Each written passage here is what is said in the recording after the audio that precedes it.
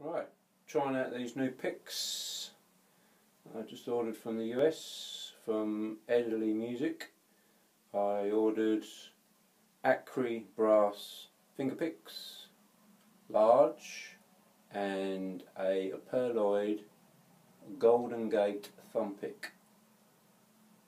Both recommended to me by my good friend Knut Hem, who swears by them and said give them a go.